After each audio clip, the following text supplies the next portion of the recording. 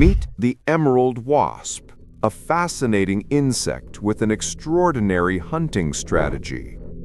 This wasp targets a cockroach in a very precise way to prepare it for her offspring. The wasp chases the cockroach, carefully striking it to temporarily paralyze it.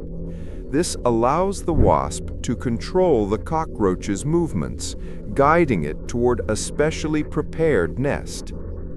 Once the nest is ready, the wasp lays an egg on the cockroach. The larva hatches and has a fresh, safe food source while developing.